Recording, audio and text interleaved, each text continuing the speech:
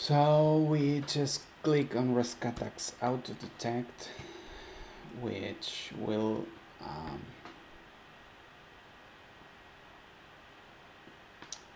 uh, boot Rescatux so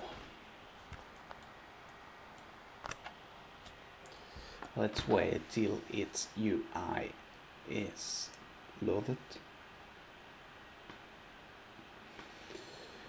so um, we click on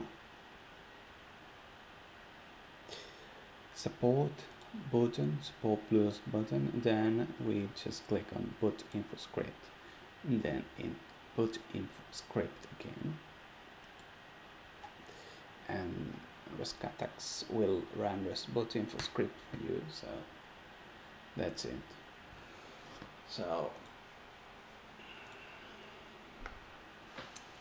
let's go to the chat and let's go to share log Sherlock boot info script is here.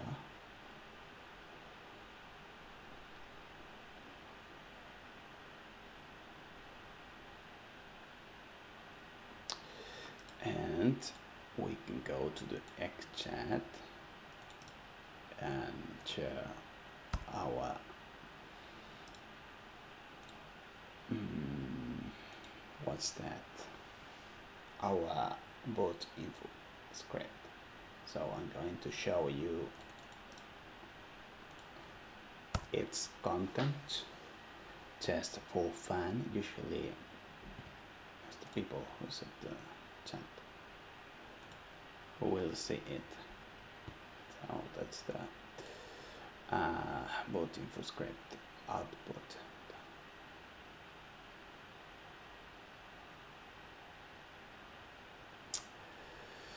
So that's it. That's the just click ok here and just share boot info script without too much hassle.